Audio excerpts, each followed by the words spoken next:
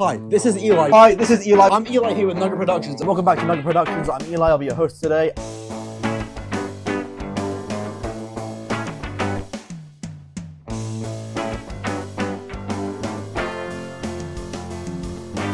Are there any composers that you very much idolize in the industry? So, but I guess I do pull from the m- movie thing. So I'm a big John Williams fan. Al Silvestri, Danny Elfman. So you say the research aspect is very much important. If you want to call it research, I call it fun. So the fun aspect is very important. You're darn right.